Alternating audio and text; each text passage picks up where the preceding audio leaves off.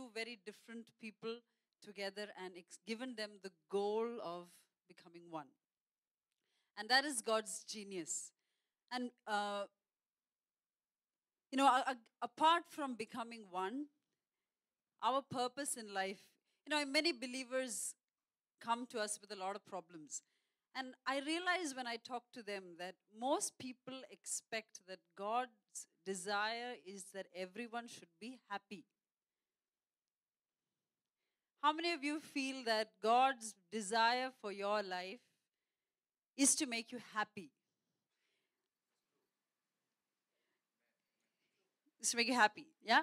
We, we feel that, but if you look at scripture, most people that walked with God were not necessarily happy. Jesus himself, they had joy of the Father's presence, but everything that happened in life didn't make him happy.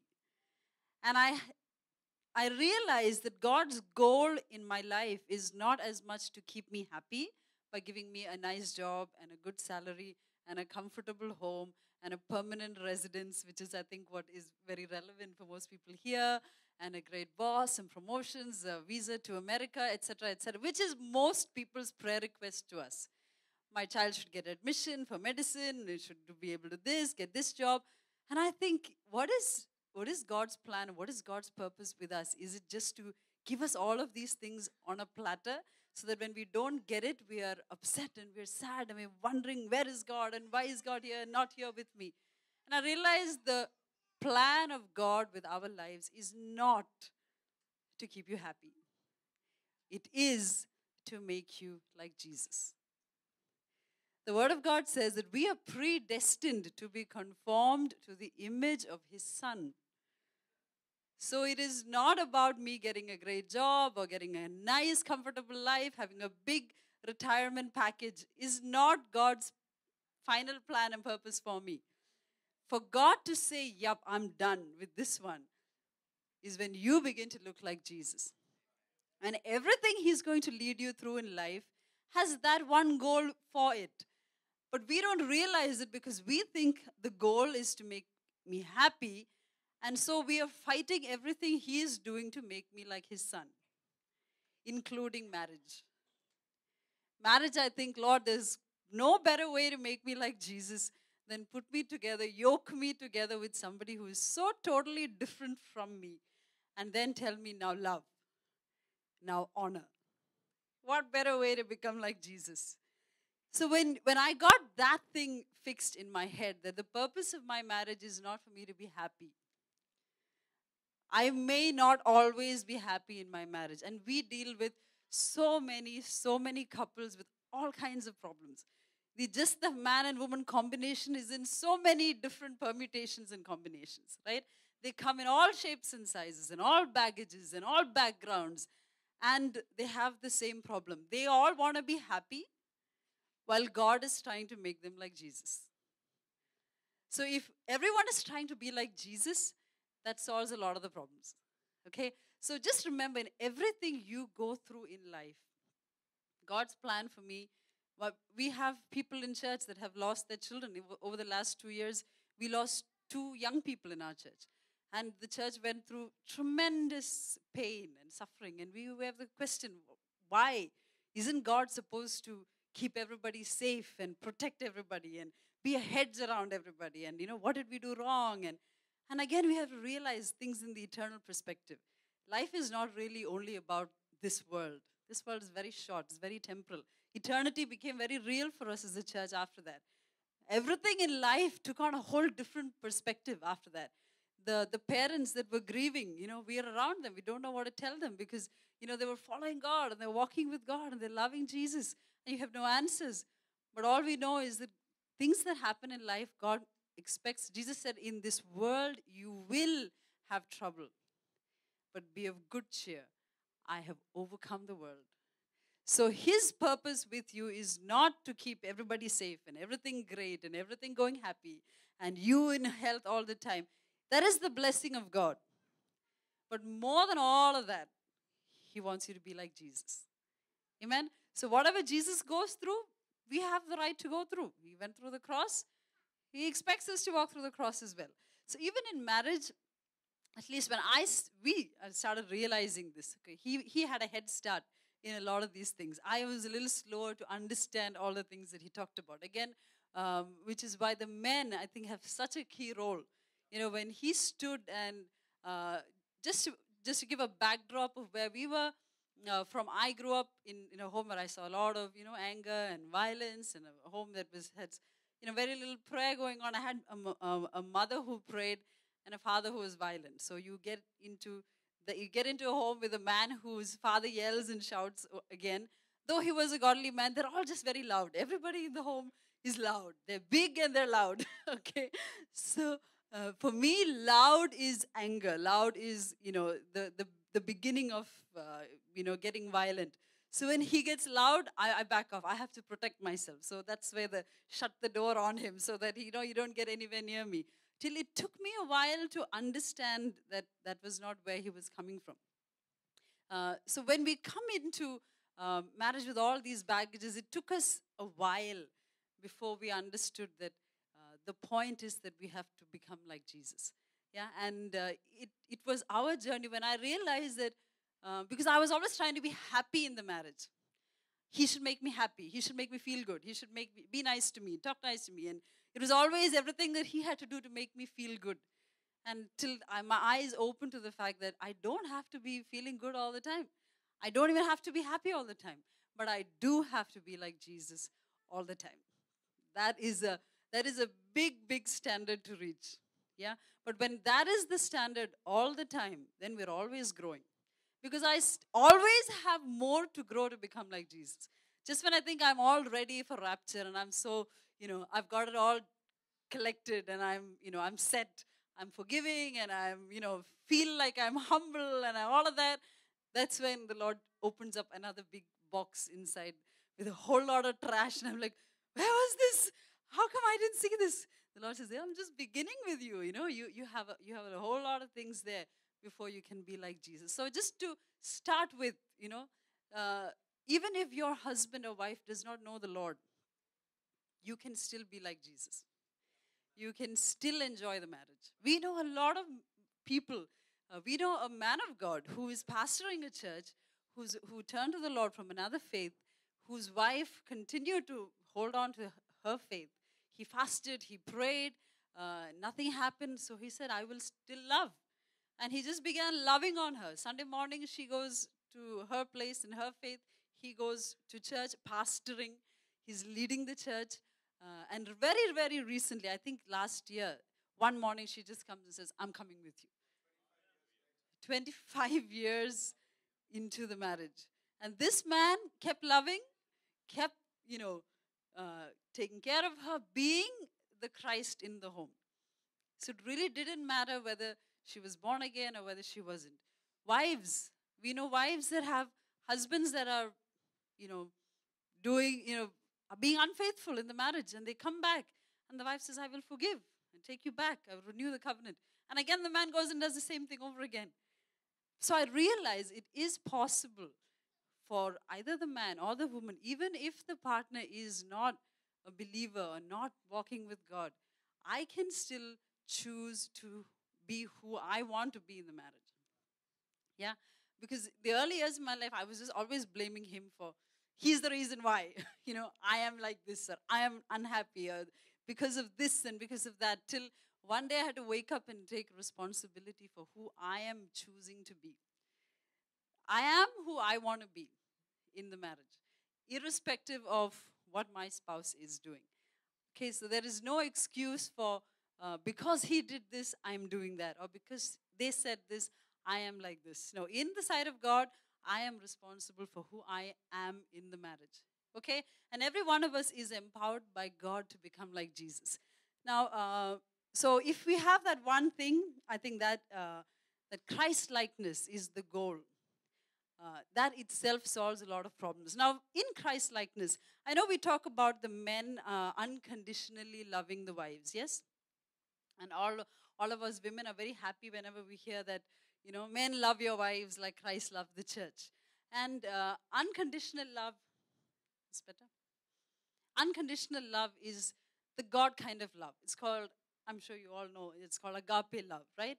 It is the love that will love in spite of, which means whatever you throw at me, I still choose to love. Whatever you say to me does not control me. I refuse to put myself under what you are giving to me. I choose to be like Christ and I choose to love. Now, if the men have to unconditionally love, there is the responsibility of the woman also to unconditionally honor. Yeah, that's a tough one. I, I just read that in a book recently and it you know hit me so hard. I took a couple of days to get over that because we were so smug saying, you know, you love us unconditionally. We can decide whether we want to honor or not, you know. Uh, if we feel like it, we honor. But the, the book challenges, was challenging the women.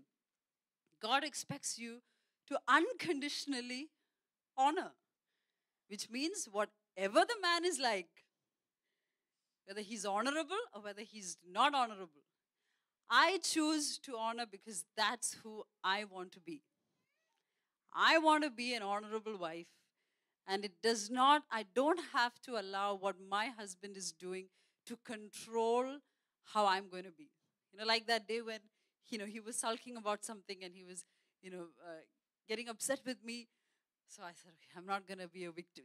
Earlier, if he gets upset with me, then I go into the room and I sulk, and you know, he's always mean to me and he's always saying this to me, and my day is messed up as well. And you know, after in that season, we just decided, no, I'm not, I'm not gonna let him steal my joy. Okay. Yes, I made a mistake. Yes, I messed that up, but I'm not gonna allow that to control me. Yeah, I'm making mistakes all the time. Forgive me. I'm working on it, but I'm not gonna let my emotions go down with that. Now, just a word to the women, like he was talking to the men about being the head of the home, being the model. Now, we women are very different. Uh, God has made us different. We must celebrate our differences. We must celebrate each other. Okay? The world has twisted the differences that God has made and made men and women despise each other because of their differences. You're a man, you're like this, you're a woman, you're like this. And all the jokes that come out, you know, about the women and the men and the stereotypes. So the world has, or the enemy has distorted the glory that God has put in the difference between the men and women. Now, God is not just male. Okay?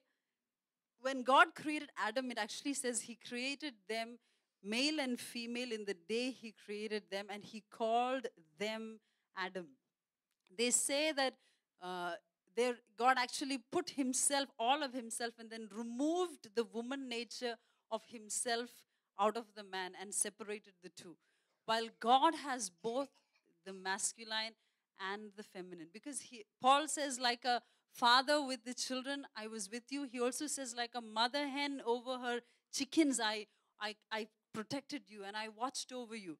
Right? So God likens himself to father and mother. So the, the nature of God is not just man-like and women from another, you know, universe altogether. God has both in him. He put both into Adam and he separated the woman nature. He separated the the you know the emotions and he's then the the whatever the the the motherly nature from the masculine or the the fatherhood and he put the two apart and said okay this one will lead and this one will submit they were both equal they were both god like but he separated them and he said this one both can't lead if both lead it you know it's like a two headed monster so God said, okay, one must lead. This one will be the stronger emotionally. This one will be the weaker one emotionally. But this one will be stronger in other ways. And this will be the strength to this one. And you know, both were created differently, both had a purpose, and both were in God's image. And as I celebrate the image of God in the man, and the man celebrates the image of God in the woman, we learn to honor one another.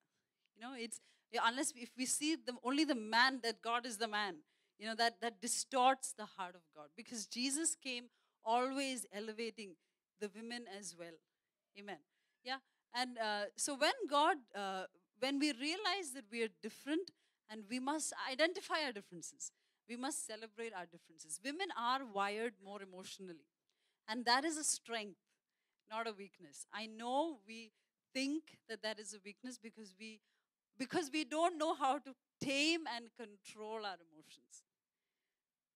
The emotions are, are not to be looked down on, the emotions are to be tamed. I can't allow, see, I was an extremely emotional person. You know, I would, uh, you know, cry for no reason. Uh, see, again, all of this, I've realized that who you are in your marriage, again, comes from a lot of different things, comes from your upbringing. What your parents' marriage was like is definitely going to affect your marriage. What you saw in your father and mother will come into your marriage unless you decide it stops here. From this generation on, we're going to model Jesus. We had to make that choice in our marriage because he came with his baggage, I came with mine. And naturally, we will pass it on to our children and they take that baggage on for the next couple of generations till we say, no, it stops here. This generation on, we're going to model Jesus. We do, we do what we can. We, I, I, Christ is, uh, you know, it's the, the, the goal of being like Jesus is, is big, is huge. Yeah? And we want to pass that same goal on to the children so that every generation gets better. Amen. So you will bring into your marriage things that you saw in your parents. And there will be good stuff and there will be the not so good stuff. I know uh, in what I have seen, you know, in all the couples that we've dealt with, children from dysfunctional homes bring in a lot more baggage into the marriage. And it is always, I feel it always works out better when at least one spouse is from a good home or a stable home. That spouse is like, has like, you know, a punching bag that can handle so much. For example, I would look at other wives that are handling things from husbands. I'm how, how can they how can they take so much? I wouldn't take so much. I wouldn't be able to. And I realize it's probably because of what I have seen growing up. When I was growing up, the thought of marriage itself for me was I had plan A, plan B, and plan C. You know, if plan A, if he beats me up, I do this. If he walks out on me, I do that. If he's going around with another woman, I do this. I am coming, this is all subconscious, you know, and I'm growing up with all of these things, all these defenses up like this. And I come into the marriage where he comes from a great home uh, and he's coming in for life and covenant and all of that. And I have no clue what any of that means. You know, and so when we are walking this thing together, I'm, I'm, I'm not trusting for a long time. It took me a long time to put the, the walls down, put the defenses down, and know, okay, this is safe place. This is okay. This is this is for life. Okay, he's he's serious about this one. You know, so I don't need a plan A. And it also took time in the presence of God because I, I still had to deal with my own fears in the Lord's presence and come to the place that even if anything like that does happen, I need to know who I am in Christ. I need to have my identity so sure in Jesus that it's not going to shake me. You see, I realized that all my fears were, were just, you know, like this big mountain underneath, you know, under the surface. So I had to get back to my security in Christ. Yeah, so what if I'm, if any of those things that I feared happened, I had to face it face it on and say, even if those things happen, Christ is my cornerstone. Amen. So when I began to drink of the love of God, the security of God, I began to bring that into the marriage as well. And I realized that all of those fears were what was coming out as the fighting and the strife and the emotion.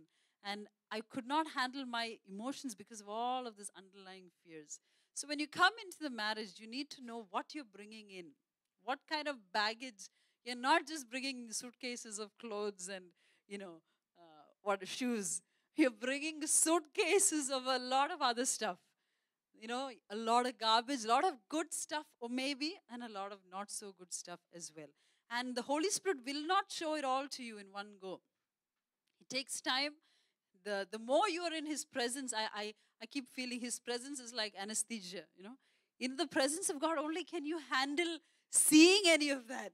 Because outside the presence, if you were to see any of that, you would, you know, you couldn't handle it.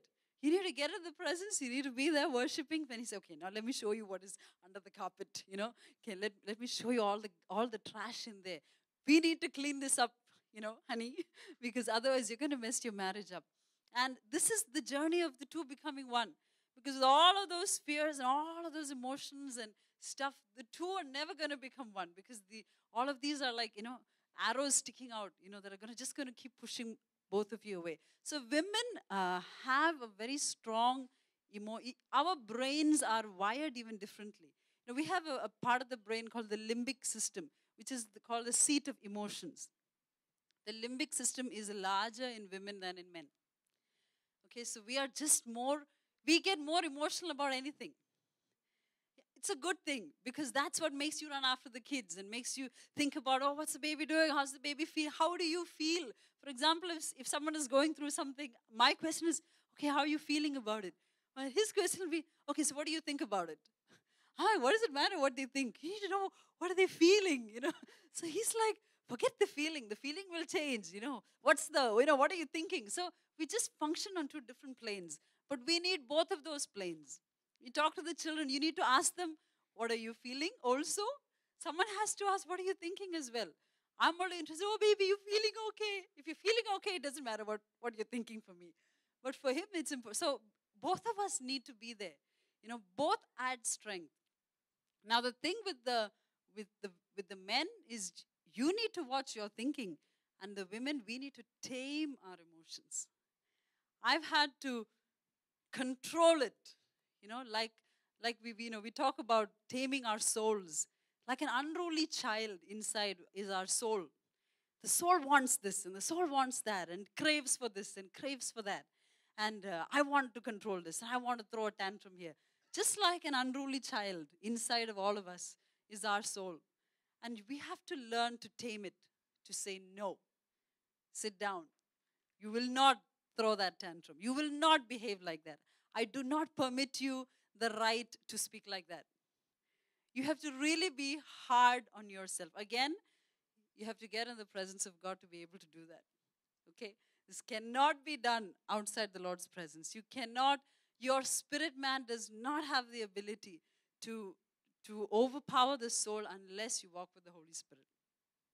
But it says, by the Spirit, put to death the deeds of your flesh. So if emotions, if your emotions are bigger than you, for me, my emotions were bigger than me. In the sense, when they come up, I have no control of what I'm saying or what I'm doing. And I think it's okay because I'm expressing myself. Because I'm saying whatever I felt like saying. I'm, you know, and till I say it all out, I don't feel, you know, soothed enough. But you, but we cannot give that ourselves that right. You know, the, I know the, the Western theology will say to let it out, express, say whatever you feel. But I don't feel the Word of God agrees with that. The Word of God commands us to have self control. Yeah? So, wives, when we're today, what I do is I have learned to identify the emotions when they begin to rise itself. And I learn a deal, I'm, I'm, I, I sit back and I think, what is that emotion? What did I just feel? Was that hurt? If it was hurt, why did it hurt? If it hurt, it usually hurts because of pride inside of me. Something hit my pride that hurt me. So I got to go deal with the pride. But usually it is, he hurt me. How dare he say that to me? How dare he do that? And then it's, you know, warfare there. But today I don't allow the emotions to overpower, to overtake, at least where I am, you know, in with this level of emotions. And I, I don't know if God has, you know, bigger emotions for me to handle. But that's the journey. We as women, emotions are our strength, but don't let them control you. You know, I know, and again, another thing that controls our emotions is hormones. You know, there is there is a time of the month where emotions go out of control, right? You got to calendar that. Because I know so many women that call me and cry about their how terrible their husbands are, and they you know this, and then I ask them, okay, uh, is it that time of the month? They're like, no, it can't be, it can't be. You know, this is real. I'm really feeling it. I'm like, okay, fine, we'll pray about it. Two days later, oh, Hannah Chichi, you know what? I don't feel any of that anymore. I'm like, okay, next time around, let's let's let's get wiser about this. So they, they come back, you know, and this, you know, we, we, we put alarms on our phones or we clock it and we and we, you know we, we prepared for it. Because I know the next two days I'm going to be emotionally super volatile. Uh, so I need to be on my guard. Because when uh, because I know so many that excuse their behavior because of this. It's hormonal. I can do whatever I want. You know, people have been uh, uh, uh, accused of murder in because of this. PMS, even if they commit murder, it's excused because it's out of their control. Can you imagine?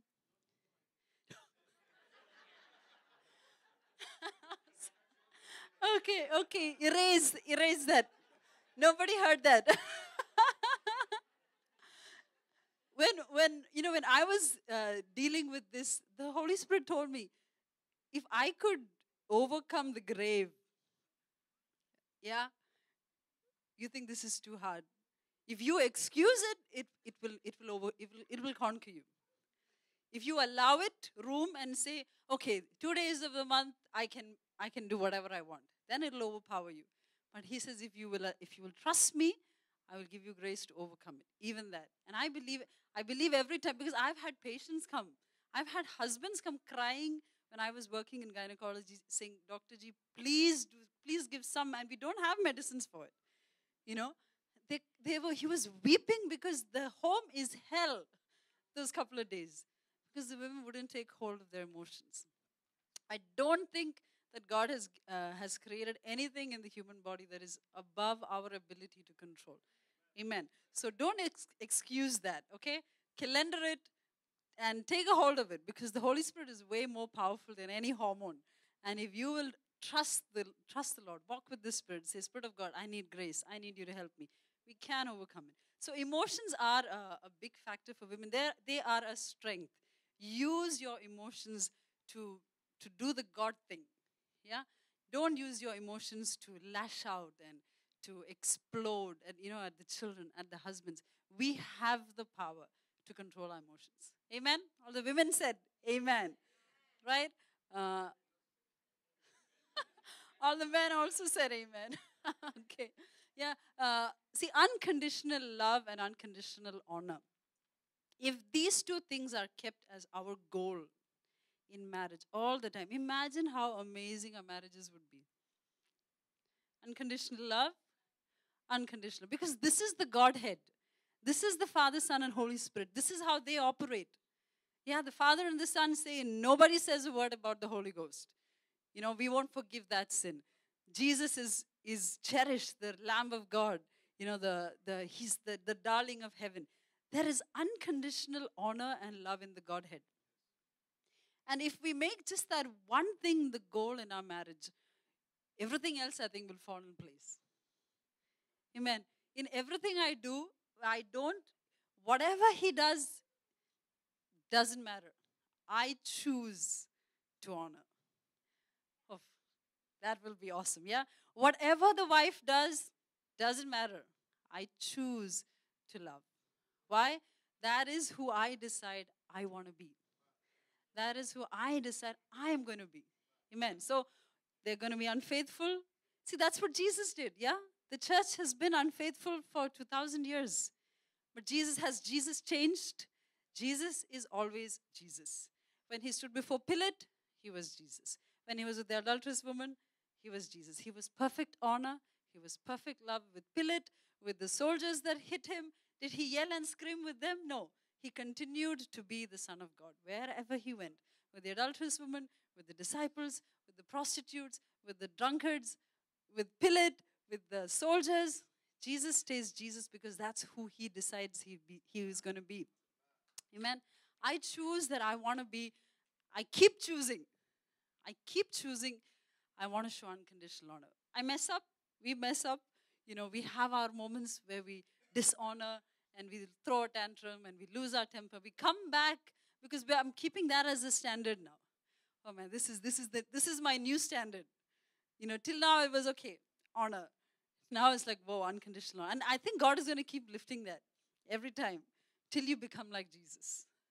Okay? So, uh, so as that, with that as the foundation, I think a lot of our issues get settled. Uh, challenges, again, to this. Why can I not honor? Why can I not love? And I think a big factor is, uh, is our baggage, is the backgrounds we come from.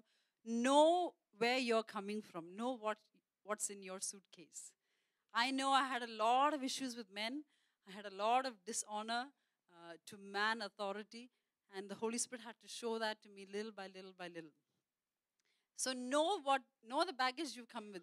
We develop subconscious belief systems in, in our childhood.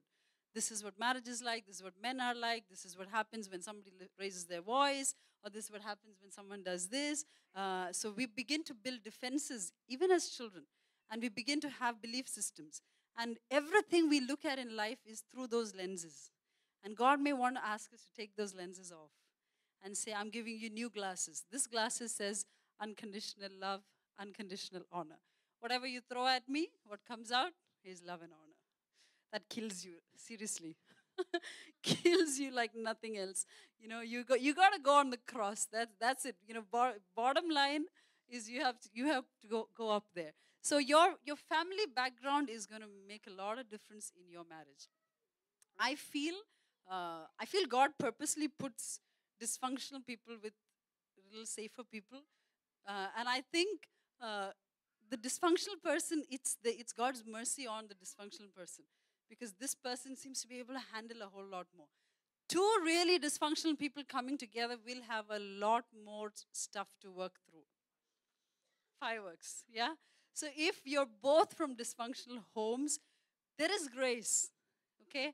But you need to know that you may have to wade through a lot more, you know, murkier waters than a person who's come from a stable home. If you are stable or you, you come from a peaceful home, and your, your spouse doesn't. You may be wondering, you know, why are they acting like this? Be gracious. No, maybe know that God has placed you there for that person to come to a place of security. And maybe if you're the wife and the, the dysfunctional person is the man, wait for a time, be patient, be the Christ to them. I believe at, at one point, once they know that they're in a safe place, they will rise up as you keep praying for them. But whatever they do, whether they change or whether they don't change, our goal is unconditional love, unconditional honor, which means when the, when the man is messing up, Holy Spirit will ask you honor. When they're messing up, or maybe they're, they're doing everything wrong, God will still say honor. Why? Because that's what Jesus did with us. How many of us have messed up after we've come to the Lord? We've backslidden or we've disobeyed God, we dishonored the Lord. How many of us have gone back to Jesus and felt dishonor? Ah, there you are again. How many times I told you, etc., etc. Anyone here? I don't think so. Every time we get into the presence of God, there is honor there. God honors us, even when we mess up. Amen. God still calls my beloved, my child, my, you know, my precious one. And He's always honoring because that's who He is. He cannot not honor because that's His nature. So we got to come to that place, which means whatever you're going to do, what comes out of me can only be unconditional honor. So people with baggages, you're going to have a lot more to work with, but it's not impossible. In the presence of God, all these baggages get dealt with. Personality.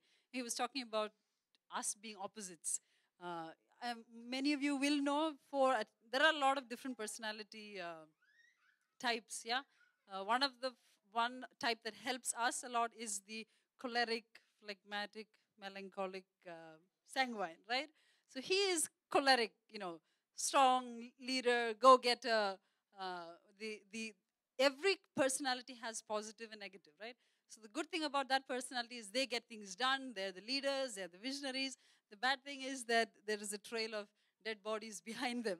okay, you know because anyone can be walked over for the sake of the vision, for the sake of the goal, right? Uh, so that is more important than than anything else. Uh, then, of course, the melancholic. The melancholics, their their strengths are they're the artists and they're the you know they're they're meticulous, they're folk, perfectionists, right? The negative is the melancholics are often very emotional. Their emotions, they're moody. They can be you know difficult people to get along with. You can't understand them. Always, the good thing is that you give them a job, they do it to perfection. The, the other personality is the sanguine. Yeah, give me one, one sanguine there. The sanguine's the, the, the life of the party. Wherever they go, they make everyone happy, joking around, right?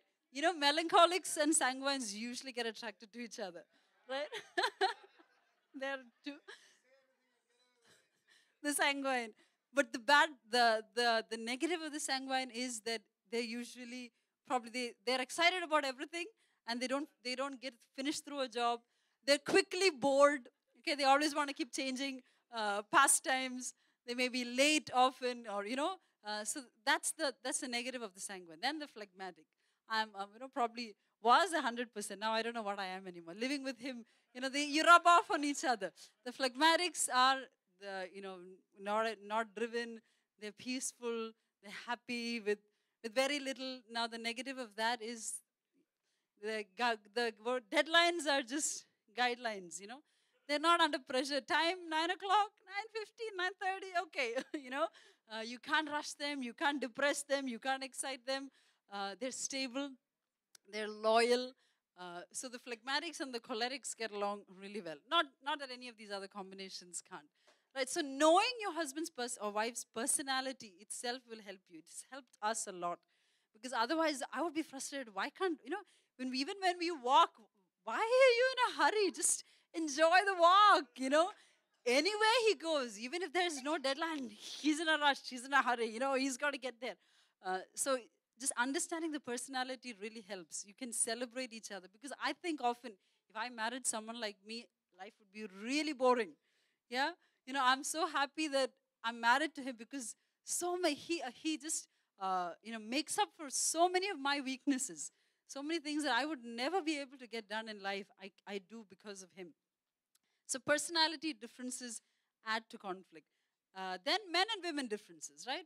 Men and women are just extremely different. We women need to understand that men are not women, though the world may have been a better place if they were more like women, but God has made them men. okay? So they, they are who they are because we need that.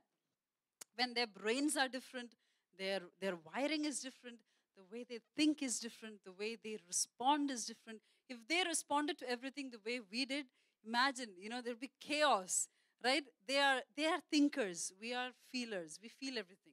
They think, they want to process. So we can get upset when they don't feel.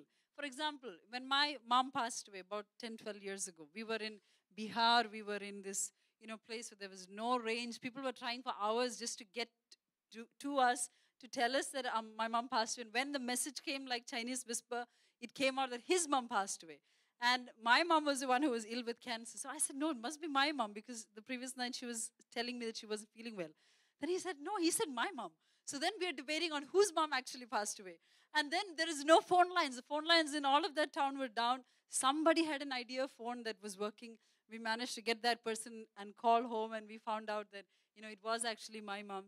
And uh, I, you know, I just was taken into the home. The, the the next couple of hours, he disappeared. He was nowhere there. So in my mind, I'm thinking, you know, where is he when I need him, etc. While people were coming and visiting, and you know, while he was there the whole time trying to organize flights and get us down to Kerala. There are you know no phone lines, uh, flight, you know, working everything out. A couple of hours later, he comes in, and uh, I realized that you know his natural instinct was to to make a way. Okay, I got to get her down. I got to take her for the funeral. Da, da, da. While if I was the man, or if I was in his place, I would be sitting with him and hugging him and saying it's okay and you know funeral what funeral you know uh, we need to feel right now what they're feeling uh, but when I, I realized that I need that, people were coming to comfort me. And even when he would sit with me, he was clueless on what to say, you know. And uh, earlier, whatever he said would be an issue. You said that when, you know, you shouldn't say that. You should, you should say this. But then I just, because I realized men women are different, he's different. This is not the way that uh, he cannot be me. You know, we just sailed through that time. You know, it, was fine. I just uh, I went to the to the Lord. I you know dealt with the grief. He was there with me, you know, through the train, trying. I I could see he's trying to do what he thinks I may want, but he's not sure. You know, he's trying to say the right things. Oh yeah, he's trying to say the right things and trying to comfort, but doesn't know. You know, doesn't know what to say, what is going to upset, what is going to be the right thing, etc. So just knowing that helped me. knowing that helped me and i was i was happy that you know he he actually organized everything that i could be there you know as early as possible so men and women are different you may want them to be like your best friend would come and sit and talk and you know uh, there are times when i wish he would say things that a woman would say but It's okay. Okay. Thank God they're the man. Thank God they are not the woman. If we try to make them a woman, uh, we won't be happy. Trust me. Okay. We just celebrate the fact that they're men and we are women. We are emotional. They are never going to understand. So he tells me, Tell me what you want me to say. I'm like, now that's going to spoil the whole fun. So basically, I have to tell him that, okay, this is what you need to say. For, for us, that spoils all the fun. But it has helped. I, in a, on a, when I'm not emotional, I can tell him, you know, when I'm feeling this, it'll help me if you say this or if you don't say that. Now, educating them helps, right? So men and women are different. And that itself is the reason for enough conflict unless you learn to understand what are men like and what are women like, okay? Uh, some of the personal baggages that we bring in are okay insecurity is a big one uh, we we ca- we think it is the partner's fault but often a lot of things is is our own issues yeah insecurity fear pride all of these things are big big killers in a marriage and I think if even one person of the two starts to deal with their baggage, the whole equation will change. Most couples come to us telling us about what the spouse is not doing. Earlier, I would believe or swallow everything and I would just, you know, mourn with the wife. And even we would have a lot of fights because he'll talk to the husband, I'll talk to the wife. So we're fighting on who's right. No, but he did this and he, well, you should tell him not to do that. You should tell her not to do that then we decided no no this is not going going to go anywhere because we're going to have a lot of couples coming to us and we can't bring that in between our marriage so i get upset with him because he's not telling the husband everything he should be telling the husband right and he would think i should tell the wife everything i should tell the wife uh, but over the years as we discussed uh, together we realized both have things to change each one can only see what the other person has to change that it is so difficult for me to see what I need to change. And if I can just open my eyes and just take a look at all the, the things I need to fix, that itself changes the whole lot of the equation in the, in the marriage. If even one, if one of the two, maybe both of you are not in a place, for us, he began to change first. You know, in, in, the, in, in the world's equation, you go half, I go half. You know, you do this, I do that. And you know, we meet midway. But covenant is not like that. Covenant is I die for you. Whether you die for me or not, I, I lay it down for you. That's covenant. And that's the kind of love Jesus expects us to show in marriage. Why? Because that's the only way he knows we become like him. Amen. So we can't say in the marriage, you don't do this, so I'm not going to do that. Or you didn't talk to me, I'm also not going to talk. I've done that. You don't talk, why should I talk? I'm, not, I'm not going to talk. I'm going to turn away. Uh, then the Lord said, You know what the Lord told me? That even if you walk away, you just broke covenant. Whoa. We think if I'm unfaithful, you know, if I am going around with somebody else, I'm breaking covenant. For the Lord, if you're not working towards this and you're walking away, even out of an argument, out of away from the person, you're already breaking covenant. Imagine how high his standards are. Which is why he says, As the heavens are higher than the earth, my ways are higher than yours. You know, you, you, you guys think it is okay, but God would never do that. He would never allow himself to do that with us. So even the walking away, even the throwing of the tantrum, even the sulking, because when he used to come back late after, you know, meeting up with people sometimes late in the night when he walks in, I had the big face. How many of the wives know the big face? okay, don't say anything, just show it all. What's wrong? Nothing. okay, and uh, the Lord, I, I was constantly doing that, you know, and I realized that what, what would you call that?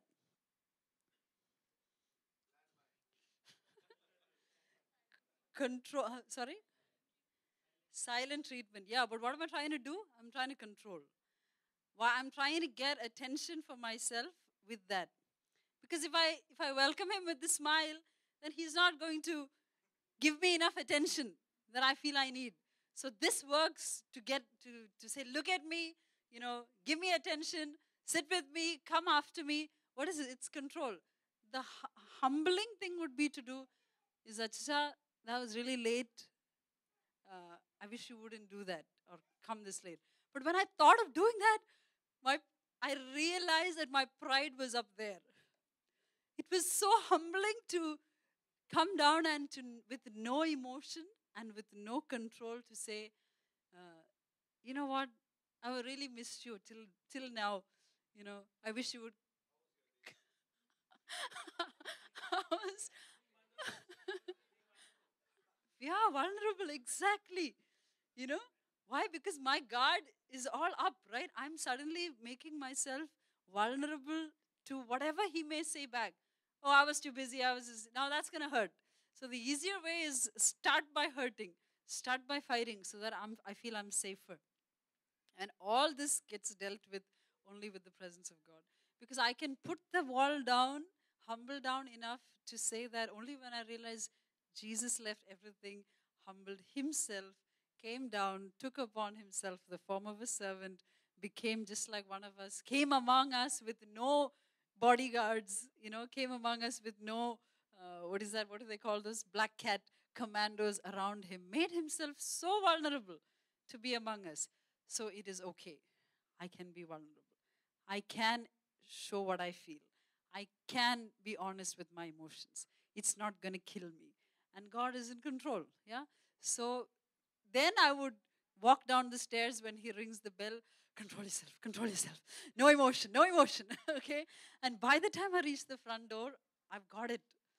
You know, I've conquered it. It took me a couple of weeks, but I decided no, I, I will not be a manipulator. I will not be someone that controls. I have no right to do that. That is devilish and demonic. Amen. It is. Control is from, from the pit of hell. I don't want to partake of the devil's nature. I want to be like Jesus. So you kill yourself till you come to the front door and you open the door and say, Hi. okay. and they have no clue of the whole battle that you were just fighting just to open the front door with a smile. Yeah. But I just grew with that, you know. I just I just soared, I felt. I just felt so so powerful. Not control. I, when I control, I actually am not in control. But when I control myself, I become so powerful. Amen. Powerful. I feel powerful. I'm like, I got myself. You know, I, I can decide how I'm going to behave.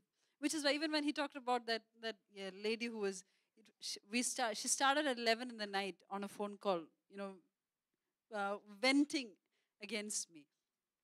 But the, she, and she went on till 12:15 before I got a, a word in, you know, to be able to help her. But the, she's, she was grieving over, over deep pain.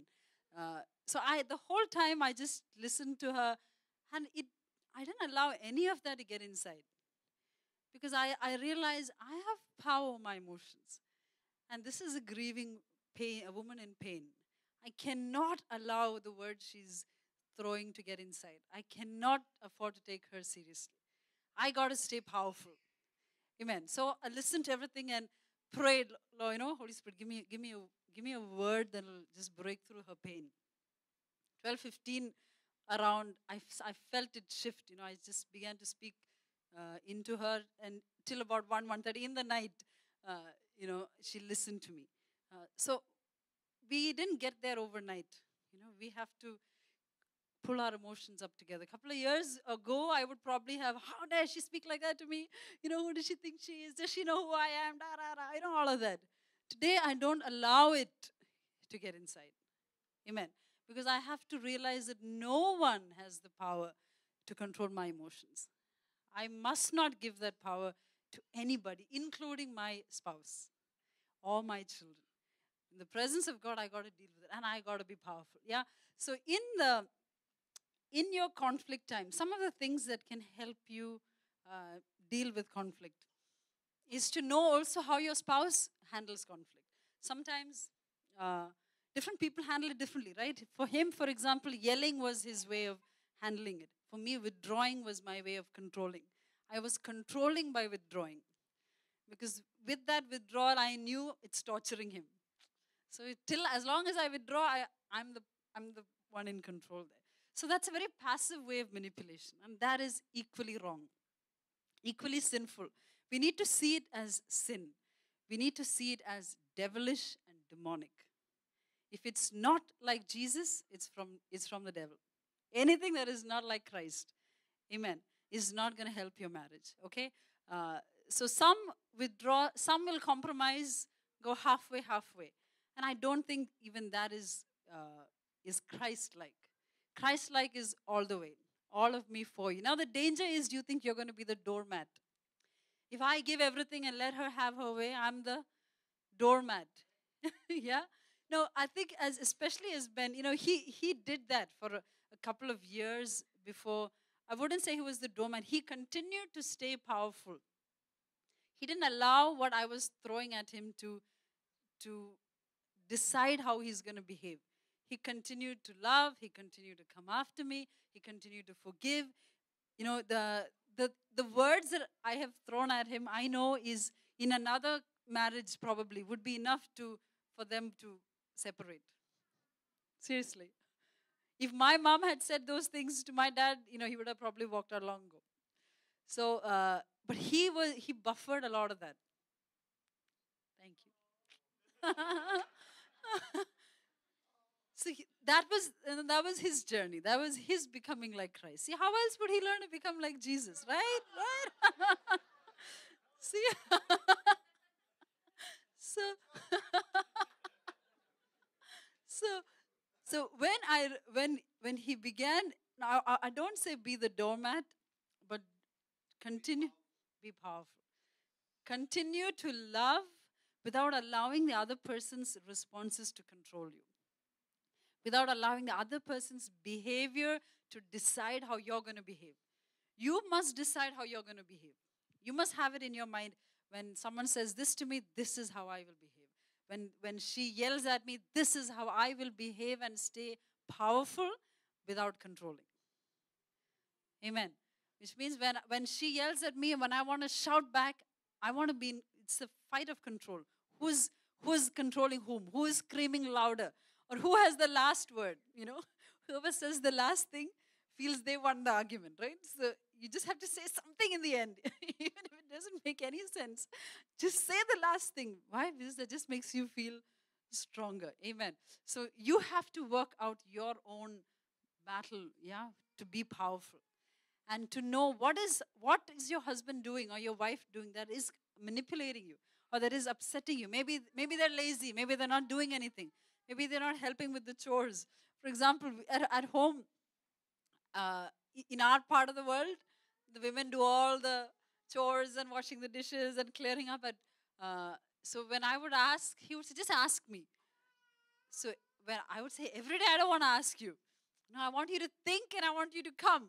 Uh, but for him, for in his mind, it's like he's not thinking about it. It's not natural. So if I ask, he's there. You know, he's happily doing everything. But for me, why I'm having to ask every day. Why don't you just eat? So one day I just lost it. I erupted, and, I, you know, I just, I was just so upset because there's so many dishes to wash, and we were in church all day, and we come back, and then everybody was, uh, you know, I had so much stuff to do. I lost, I lost my cool. I manipulated, and I threw a tantrum. Uh, but with that, he he realized, okay, there's pain there. She's this is upsetting her, or this is affecting her. And since then, even without me asking, he's always been helping. You know, so so yeah yeah yeah. so men understand the the signals that they are giving without waiting for the without waiting for the explosion. Okay, you know, in our part of the world, we think that the the men should be served or the men. It's fine, you know. Uh, I love to serve him, but I think in when there's mutual respect, it's okay for the men to do the dishes. It's okay for the men to uh, get coffee, or you know, like they said in the Bible, it says that the man makes the coffee. Yeah, you guys are grounded in scripture. I like that.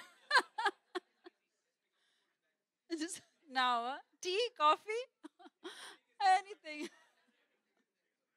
that was God sent. Yeah. So uh, to not to because Christ came to serve. I think anything is okay for anyone to do. Again, it is, the, it is pride and it is all of that in our heads that makes us feel that, no, it's too low for me to do that. Yeah, if Christ could go all the way down to the cross and face shame and face humiliation for his bride, I think doing dishes and helping around in the home is, is okay. Yes? So encourage all the men, serve out of love. And and uh, wives now, if you if they listen, celebrate, maybe they won't, but you still got to be powerful. Yeah? Even if they don't, if even if everything is not happening the way you want it to happen, don't lose control over yourself. Take it to God, pray with it. Maybe you have a, a husband that is, you know, totally not walking with the Lord. You, ha- you cannot control. Control is a myth. You have to take it to the Lord, pray with it, and continue to walk in love and honor. Now, when you have conflicts, uh, see, conflicts are normal, conflicts are natural, conflicts will happen in any marriage. Even after the marriage seminar, most of you probably will go back today and have conflicts, okay? yeah. Uh, I know many pastors say Sunday mornings is the time when they have, you know, major fights, right? Uh, just when you're getting out to go to church uh, is when things are up, especially being late, not getting, you know, getting the kids ready on time. Uh, conflicts will happen. They are natural. Just because you attend a marriage seminar, conflicts are not going to end. They're still going to be there. How you handle conflict is what, what is the real issue. Okay? We have to learn to handle conflicts creatively. Conflicts can be good for you if you handle it honorably. Okay? When you fight over things, uh, keep looking at the big picture. It's not always easy, uh, you know, especially in the little things. But when you're having a, a bigger disagreement, keep looking at the big picture, which is two have to become one. It's more important to be one than to be right. If there's an argument about who's right and that is destroying our relationship, I may need to give up being right for the sake of being one. I need to say, okay, it's okay, give it up, forget it. The important thing is to be for us to stay one. Okay? Everyone wants to be right. I want to have it all together. But don't forget the big picture is be like Christ and be one. Amen? Yeah? Uh, so and be committed to your marriage covenant, even in the midst of conflict. A lot of things we say and do are actually, in God's eyes, covenant breaking. A lot of things we throw, accusations. You know, the enemy is called the accuser of the brethren, while Jesus is the advocate. Amen.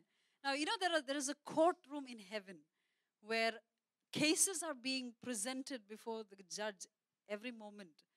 When, and Satan comes with cases against every one of us. And we give him things to go in the courts of heaven with also. and when we present, when he brings a case against us, see, there it is. We have an advocate who says, No, my blood has covered it. But he stands as the accuser of the brethren, it says, day and night, accusing us before the Father. Now, when husbands and wives um, are together, God wants us to be advocates for each other. But often we join with the accuser. And we are also standing, and every one of our words are weapons the enemy uses against us in heaven's courts.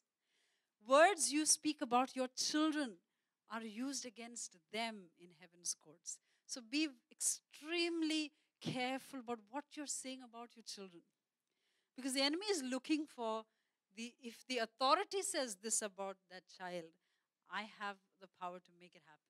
And he will take that before heaven's court, just like he did with Job, and say, See, he is afraid, or see, he's serving you for nothing. And in the courts of heaven, God has to be a just judge. Jesus is the advocate. But if we are standing with the accuser instead of the advocate, imagine, right? You're paying, the advocate is there, not even pay you, he's for free. He said, I'm, I'm, I'm freely there. I gave my own blood to be your advocate. But you are there with the accuser. You're standing on the accuser's side, blaming yourself and fighting against your brothers when you're supposed to be on my side. You're supposed to be with the advocate. So when we accuse each other as husbands and wives, even talking about one another to others, discussing your spouses with accusation, you're actually given, giving weapons for the enemy to use in your marriage. Continue to be honorable. Remember who you are, especially wives. Remember, you are the advocate, like the Holy Spirit. one of his roles is advocate, parakletos, yeah?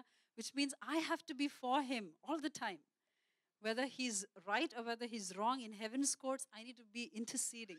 I need to be standing on his behalf. I can't be against him. Because the enemy will use accusation between you. He's like this, he's like that, she's like this, she's like Understand that's the enemy's plan. I need to stand. Know, my role is is to be with him, Parakletos. I got to stand alongside. And whatever complaints you have, take it to the presence of God. Say, Lord, I really hurt. That was really mean of him to have said that. You know, I, you know, that was wrong. But give me grace. I want to stand with the advocate. Jesus is there day and night, oh, advocating for every one of us. Amen. Let's not be an accuser.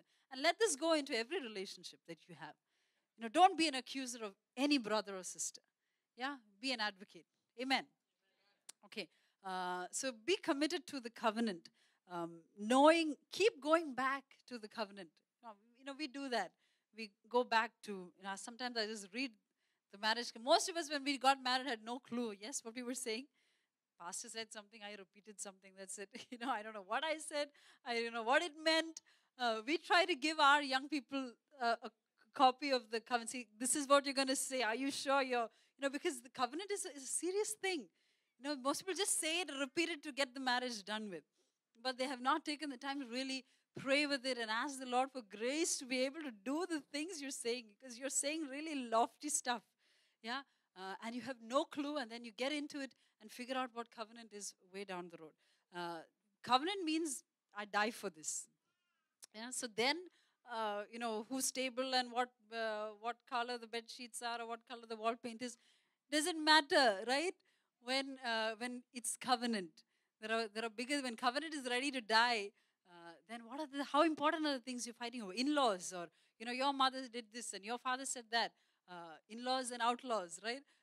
so is, is that more, more important than the covenant that we have? No, I let go. I forget it. You know, just push that out of the road. Why? Because I'm, I'm going to keep the covenant. I took this covenant.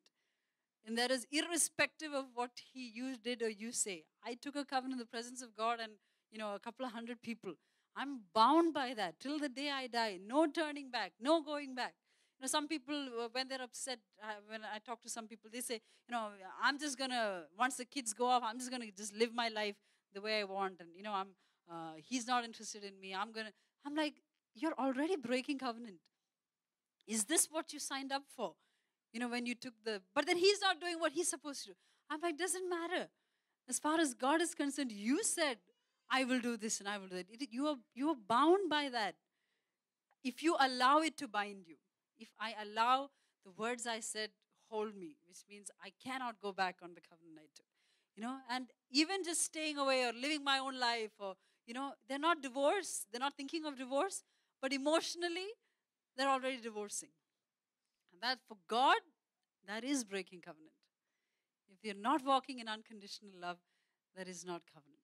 Amen. Have I set the bar up so high that none of us can reach it without the grace of God? Yeah? Because if we could, then marriage, you know, I don't think we will ever fully unlock the potential of marriage. If if just living together, being nice to one another was all marriage had. No, the bar is really high really high. Yeah. Okay. Uh, okay. I'll, I'll just okay. Some other things that you remember when you're when you're in a conflict. Avoid discussion when emotions are high. Again, difficult to do. Sometimes we keep discussions for a couple of days later because we know it's very painful, but we must not allow it to stay there. Try to bring it out little by little. When emotions flare up again, okay, let's let's close this.